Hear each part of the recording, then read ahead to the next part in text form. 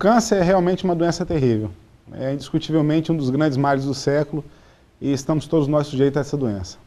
Só que ciente dos transtornos que uma doença dessa natureza pode causar, o legislador brasileiro concedeu vários direitos especiais aos portadores dessa enfermidade, mas que pouca gente tem informação e que hoje eu vou trazer para vocês alguma delas para que vocês possam se valer de seus direitos.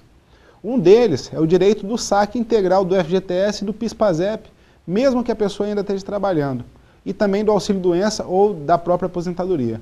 A lei garante o direito de todo o saldo na integralidade pelo portador de qualquer tipo de, de câncer. Outro direito importante é o da isenção de PVA. O portador de câncer que possui um veículo em seu nome, ele pode requerer sim a isenção do pagamento do PVA no ano ou nos anos em que tiver sob tratamento. Vários estados já aderiram sobre esse direito e o Espírito Santo e São Paulo são entre eles. São Paulo, por exemplo, eles são dispensáveis inclusive do rodízio de carros. Outro, outra coisa importante é a isenção de imposto de renda.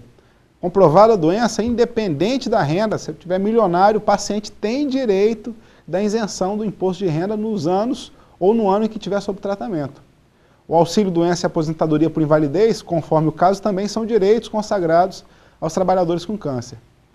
Também é de direito que o paciente com câncer ele tenha direito ao transporte coletivo gratuito, nos mesmos moldes aí do portador de necessidades especiais, o deficiente físico.